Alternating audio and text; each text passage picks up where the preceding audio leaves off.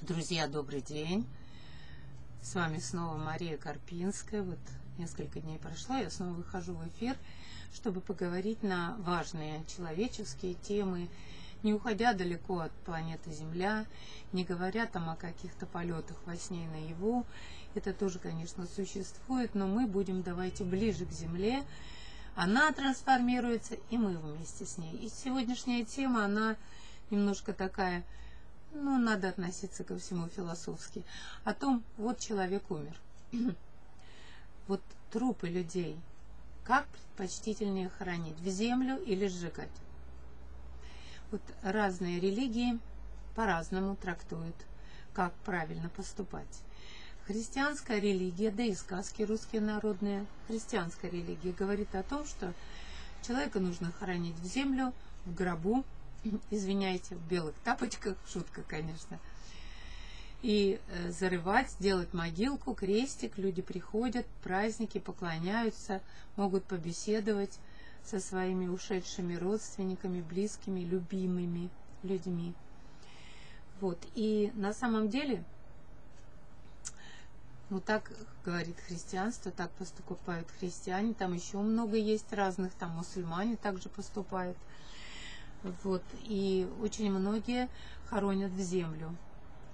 Ну, что это значит, похоронить в землю?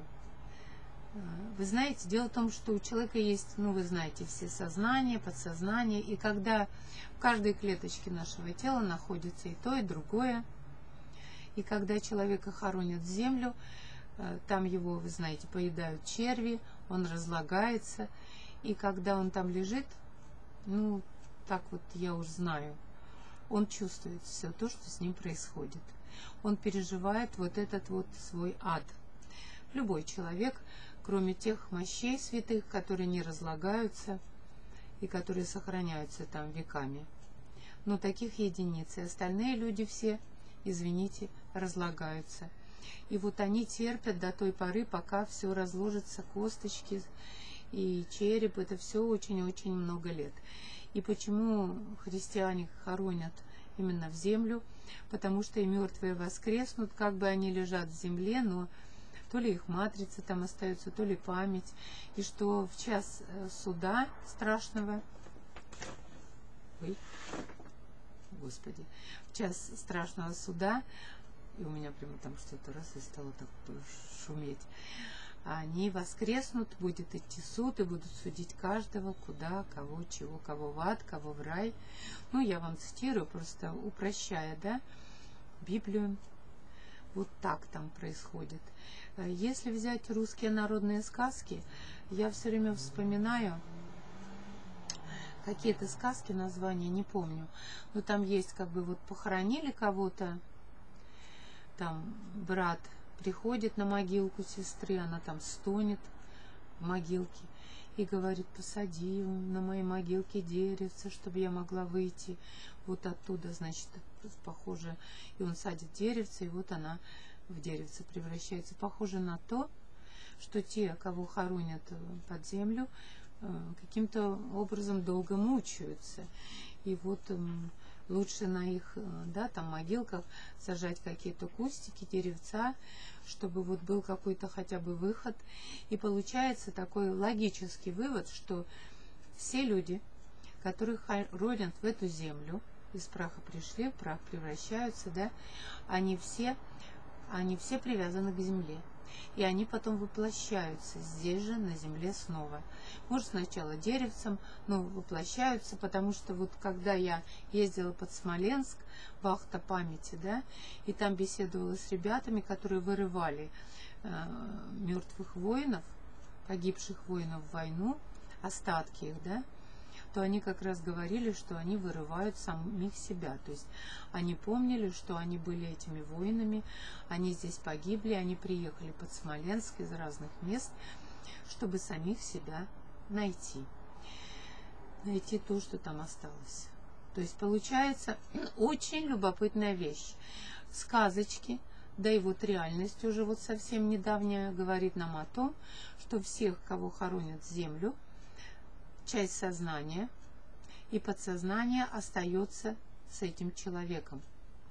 И все мы зацеплены как-то за тело, наверное, и за память какой-то. Редко есть, я же говорю, святые, которые молятся там с утра до ночи, они уже к земле не привязаны, и, по всей видимости, когда они умирают, их тело даже становится нетленным, и они уходят там куда-то в, простор, в, в эти в райские просторы. А остальные происходит такое, что они там в этой могиле да упокоятся землей.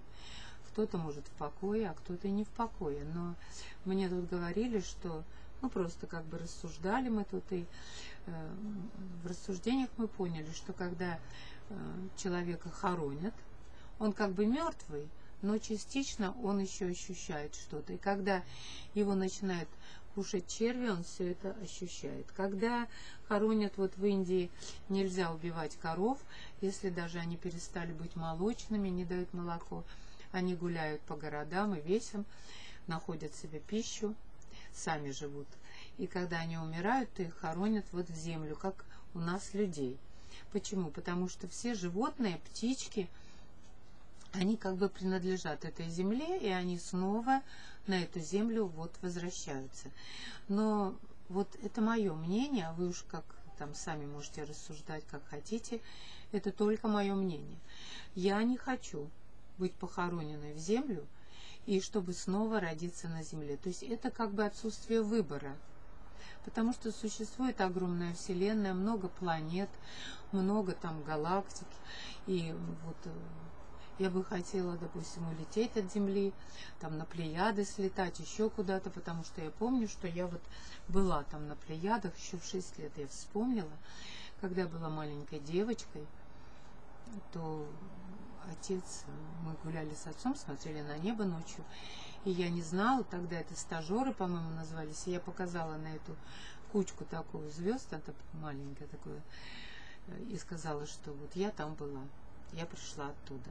Ну, возможно, я пришла с Плеяд. А, до этого, может, еще где-то была. Но я не хотела бы быть привязанной к земле. Поэтому второй способ, который, а, так скажем, проповедует или предлагает страна Индия, про которую меньше всего почему-то говорили, и меньше всего и учение это разошлось по миру. Вот христианство, оно по всему миру разошлось. Библия переведена, по-моему, на 400 с чем-то языков. А вот индийские ведические знания, индийские пураны, они какое-то время просто не были достоянием даже мира. То есть мало кто об этом знал. И, а, а я вообще люблю все то, что мало кто знает. Потому что там, где не, не ходят женые тропы, значит, там для меня вот то, что надо, куда мне надо идти. Вот поэтому я попала в Индию волею судеб, да, поэтому изучила все веды, и могу сказать, я с Бога ведаю. Я изучила Пураны, я изучила все учения, и я знаю теперь, э, и я побывала в Варанаси, город, где крематорий, где везут со всей Индии ну, умерших людей, трупы их там э, везут, и там их сжигают и над Гангой распыляют. Теперь смотрите, разница в захоронениях.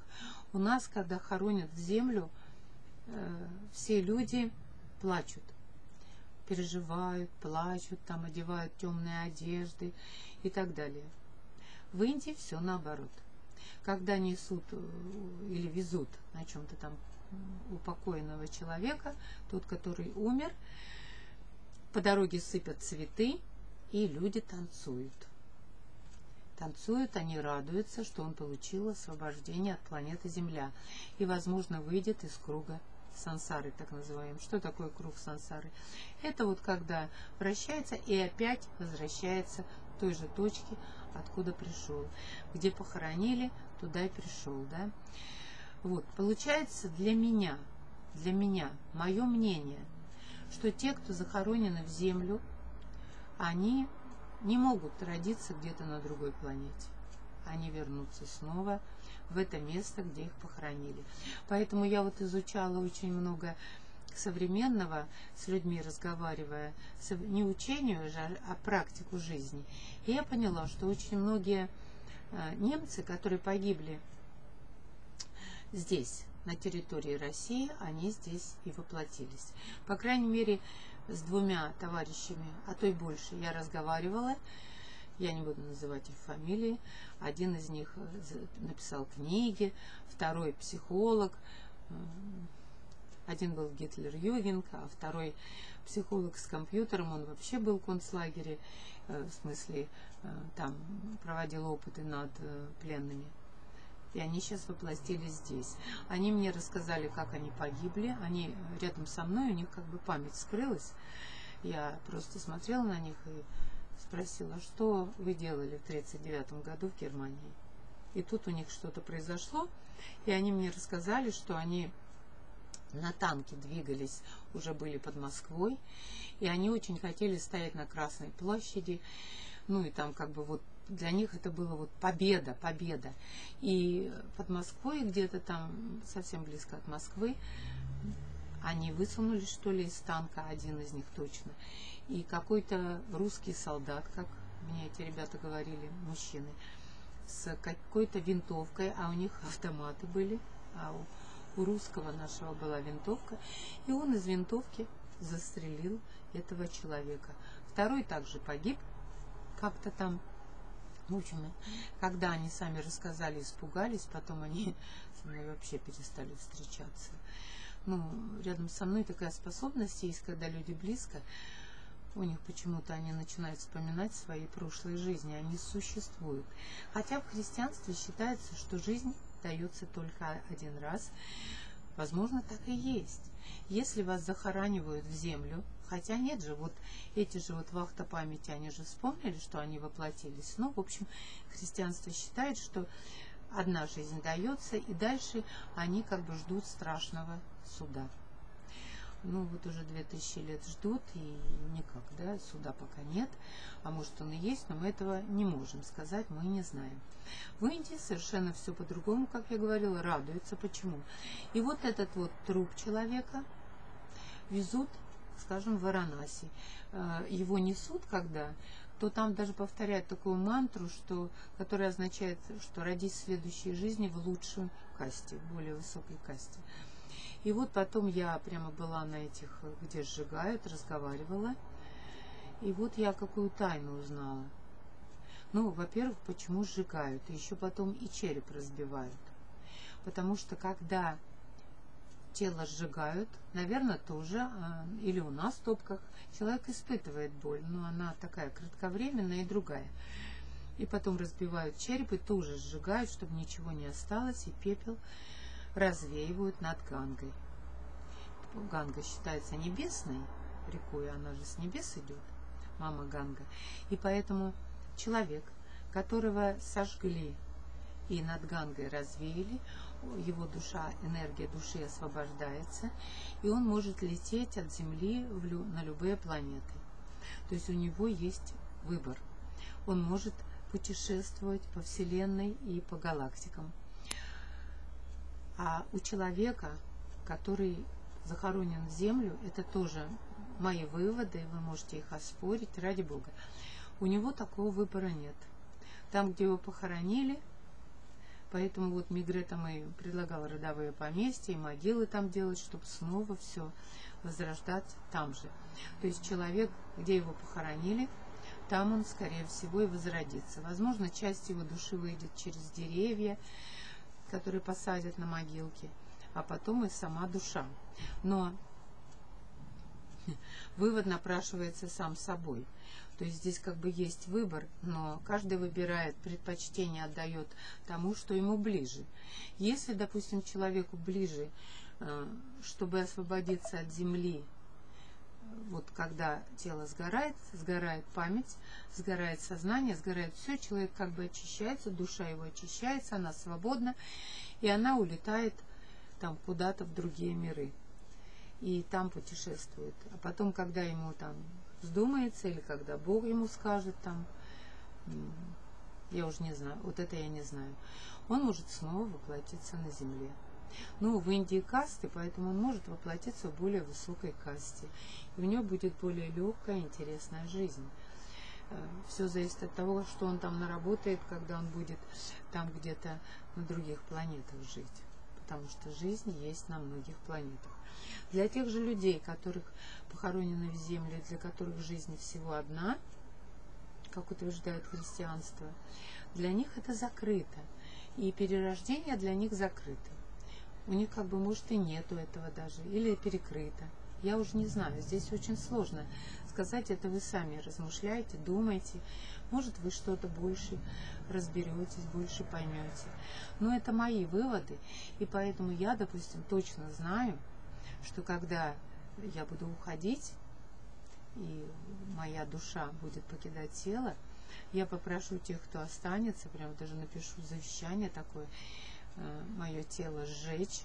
Ну, я хотела бы вообще, как бы, чтобы это было сожжено в Индии над Гангой. Ну, наверное, так и случится в будущем. Вот, и чтобы я могла свободно вспомнить все и вернуться на те планеты, на которых я уже была. А то, что я была на других планетах, это совершенно точно. Теперь я обращаюсь к вам. Вот я рассказала как бы историю или мое мнение, или мои какие-то умозаключения, э, выводы от того, что вот хоронят здесь, вот руссконародные сказки говорят, что там стонет девушка, сестричка, братика призывает, помоги освободиться. Хм. Ну, извините, но сказки-то не врут. И вот индийская да, философия, она как бы э, предпочитает, возможно, там более низкие касты, их и не, нет, по-моему, там всех сжигают, там нет кладбищ.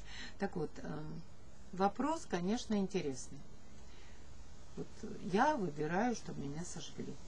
И если это даже случится здесь, это в печи такой, да, и там тоже в Варанаси есть печи, а есть просто на костре сжигают, то лучше, конечно, чтобы это, пусть эти будут мучения, например, освобождения, но они будут кратковременные, чем мучиться очень долго там под землей. А я совершенно вот как-то, я не знаю, откуда интуитивно знаю, что люди там, в общем, страдают в этих могилах. Не зря же Гоголь там перевернулся в гробу, говорят, переворачивается. Даже о чем это говорит вообще? Мы еще ничего о человеке не знаем. Если считается зафиксирована смерть, то это не значит, что клетки его тела вот так сразу умерли. Если бы они сразу умерли, их бы никакие черви не ели. Но если это пища, значит это съедобная, значит это живое. Но это мое умозаключение. Вы сами делаете свое. Так вот, что же вы предпочитаете, когда вы будете уходить из этой жизни? Снова мучиться и потом переродиться на этой планете, ну, в этом месте, где вас похоронили? И, или все-таки освободиться и попутешествовать? Я странница миров по своей натуре. Я даже по планете Земля, вон сколько странствую, да, до сих пор не могу остановиться. Есть люди, которые живут на одном месте. Вот то, что там проповедует э, Мигре, что родовое поместье, там и могилы, и все, и вот это вот, это прямо вот, ну никуда, только вот в одном этом месте. Я являюсь странницей миров. И поэтому я не могу там быть в одном месте и рождаться снова, повторять все то же самое. Хотя, как говорят, повторение мать учения, но и все эти переживать страдания тоже как бы уж хватит, да? Вот как вы, а как вы к этому относитесь?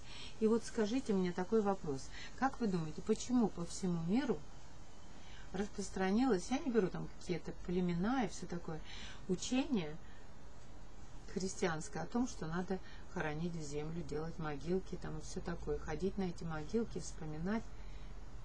Почему в маленькой Индии, ну не относительно маленькой, 2 миллиарда человек, ничего себе маленькая, почему там совершенно другая точка зрения, мировоззрение, почему здесь плачут, а там радуются, что это? Просто задайте себе вопрос, почему так? И кто прав? Все вот эти, вся, почти весь земной шар или, или Индия? Кто прав? Или оба правы? И так, и так. Или так положено, что те, кто приняли христианство и родились в христианской стране, вот должны быть похоронены в землю. А в Индии всех сжигают. Это вопрос вопросов. Почему? Вот вы знаете, пробуждение людей всех начинается ведь с того, когда человек задает себе вопрос, почему? Вот почему так?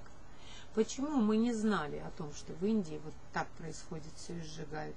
И я узнала это. А потом я узнала, кстати, что некоторых фараонов, которых сжигали, там даже специального человека назначали, который разбивал череп. Вот когда... А потом его убивали, конечно. Ну, потому что это Египет. Так вот, я когда у индусских э, этих сжигателей трупов спросила, почему вы разбиваете череп, они мне как раз и сказали, что чтобы никакое сознание человека не беспокоило и не притягивало его магнитом снова к земле, чтобы он имел свободу выбора. И я задаю вам вопрос. Все говорят, что Бог дал человеку самое главное – это свободу выбора. Но сейчас многие начинают утверждать, что нет тут никакого выбора, и что вся система настроена так, что все это фикция. Ну хорошо, если при жизни здесь нет свободы выбора, и человек попадает в это колесо, как белочка в нем вертится, то хотя бы после смерти, ну, должен же у него быть выбор. Или и там тоже вот так вот, да? Вот подумайте об этом все. Я очень хотела, чтобы вы подумали и поразмышляли на эту тему так же, как я думала. Но я свой вывод сделала, я свой выбор сделала. Я хочу быть сожженной лучше в Индии. Вот. И развеянной над речкой Ганга. А как вы хотите? Ну, многие говорят о том, что э, в Библии написано «не все умрем, но изменимся». Две тысячи лет говорят. Ну, пока, пока никто не изменился, пока умирают все. И сейчас тоже начинают утверждать, что да, все равно умрем. Некоторые говорят, вот, там учения разные, трансформации все идут, вот, э, к этому даже к вознесению. Ну, тут у меня вопрос очень такой опасный. А куда возносимся, ребята? Кого возносят и куда? Опять кот в мешке. Я никогда не любила котов в мешке. Вот я всегда любила открытое, свободное знание, которое четко и ясно разъясняет, что, где и к чему. Вот в Индии я получила четкое знание того, что действительно ни капли ни сознания, ни подсознания в пепле не остается. И Шива не зря мазал и тут пеплом, и тут себя, потому что э, он сидел на берегу Ганги и показывал людям, что вот на самом деле ваше тело, ваше сознание, все, что вы здесь на земле наработали, превращается в пепел. Но это в Индии, это ж с богом богов Шивы. А вот в христианстве по-другому, совсем по-другому. И там, конечно, Иисус, как вы знаете, распятый на кресте, э, возносится в небо. Он исчезает. Но почему-то в Индии, на севере Индии, находится его могила. То есть из 12 лет считают, ну, есть такое, поищите и найдете, кто ищет, тот всегда найдет. Я прошла по всем следам Иисуса, Исы, от самого юга до Бутана, до Непала, где был Иса в 12 лет. Его забрали вот те самые волхвы. Задайте себе вопрос, кто такие волхвы. Вот в России, в Руси, на Руси были волхвы и, и в Индии волхвы. Кто такие волхвы? Пришли, пришли, дали Смирну золото матери. Что они там ей сказали? Ну, они сказали, вот тебе расти сына, это ж дорого, Смирно, золото, это вообще, это вообще дали богатство. На, живи, расти сыночка, а когда там ему столько-то стукнет, например, мы придем его и заберем. Что, собственно, и случилось. Но это в Библии не описано, это опущено. Итак, с 12 до 30 или, может, больше, я не знаю, лет, он путешествовал по Индии. В Индии есть все записи об Исе, там его хорошо знают. Вот. И вернулся по вознесению своему, он каким-то невероятным образом снова вернулся в Индию. И там был похоронен. Кто не верит мне, поищите в интернете, сегодня все это можно найти. А, его могилу, наверное, скоро вскроют. Пока не разрешают, потому что это на самом севере Индии, в Кашмире. Там его могила, там воюют, там вот так же, как Кайлаш, очень сложно пройти, так и трудно добраться до могилы Христа. Не смеете вы плакать на моих могилах? Вот. Так что То, что говорил Иисус, мы точно не можем знать, но он, допустим, не, может, и не говорил, что надо хоронить в землю, там, но в то время в Израиле тоже хоронили в, земле, в землю. Не знаю, ребята, давайте думать вместе. Но если мы будем на эту тему спокойно размышлять, то мы очень многое откроем и сделаем свой хотя бы выбор перед смертью. Позвольте мне после смерти, чтобы мое тело вот сожгли и превратили в пепел. И пусть э, Шива этим пеплом помажет себе лоб, руки. Я буду рада. Все, друзья мои. Всего вам доброго. До следующей встречи. До свидания.